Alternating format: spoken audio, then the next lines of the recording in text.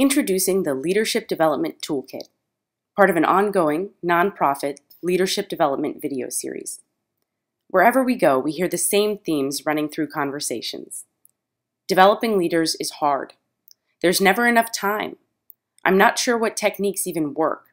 And how can anyone invest in developing their people when they need every incremental dollar to keep programs running?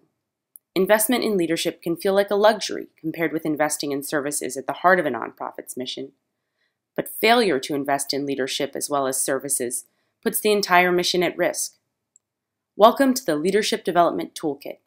The purpose of this toolkit is to walk you through the five processes we've found to be common among organizations that effectively identify and groom future leaders.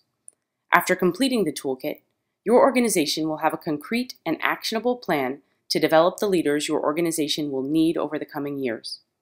We call this overarching leadership development plan your Plan A. Succession plans help you replace what you already have, but Plan A will help your organization develop the leaders you'll need in the future as your organization changes and grows. Let's quickly review the five habits of highly effective leadership developers. Number one, engaging senior leaders simply building excitement around leadership development within your organization.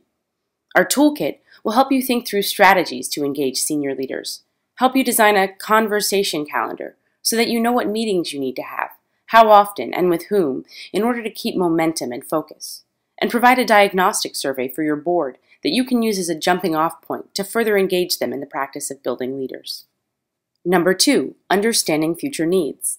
First, the toolkit will help you conduct a future needs assessment, where you will identify the critical knowledge, skills, and traits your leadership team will need to develop in order to live into your organization's strategic vision.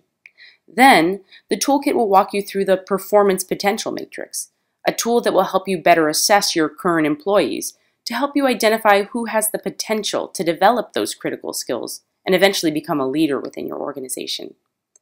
Number three, developing the leaders themselves. Leaders are not born, they're made. And they're made primarily through well designed, on the job experiences, supported by mentoring, coaching, and formal training. The toolkit will introduce a new kind of development plan called a 70 20 10 plan and walk you through the process of creating a 70 20 10 plan for one of your direct reports or for yourself. Number four, making external hires. Even the best prepared organization can't always develop all the leaders it needs through internal development alone. The problem is, external hiring can be risky. Our tools in this step focus on what you can do to ensure that your search leads you to a candidate who meets your leadership priorities, is a fit for your organization's culture, and is set up for success upon arrival.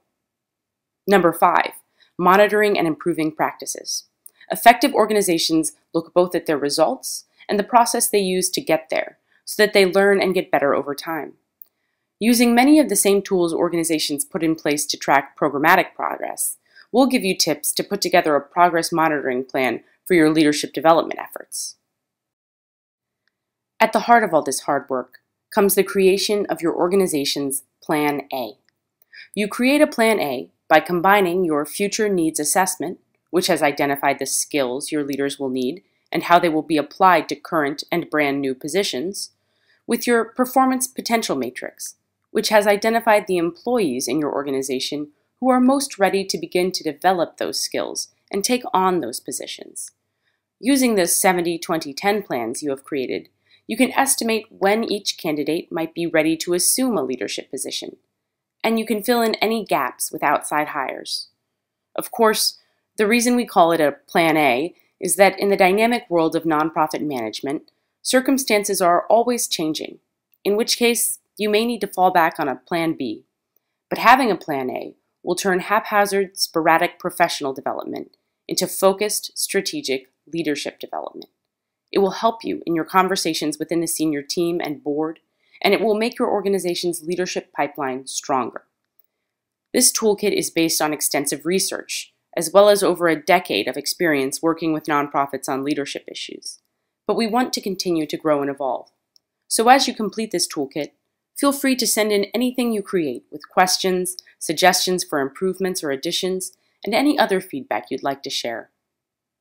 Thanks for watching.